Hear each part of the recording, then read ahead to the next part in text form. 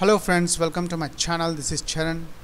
In this video I will show you how to create a menu with images.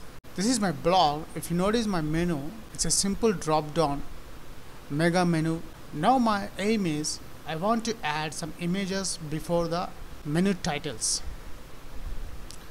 And this menu plugin is mega menu. Now let's go back to my WordPress blog and create images on my menu. Right now I am in my WordPress dashboard. To set images to my menu, go to Appearance, click Menus.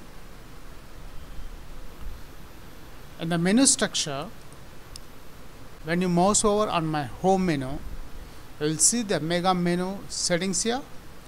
Click on it. Click icon. This is the home icon now I want to set the image gallery also mega menu icon.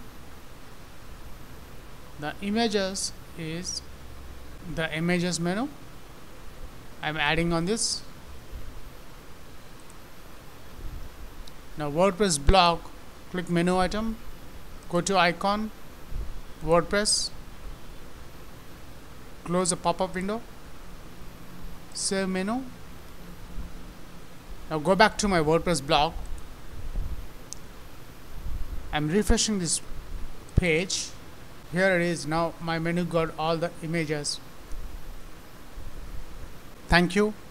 If you like this video please leave your valuable comment share this video and please subscribe my channel.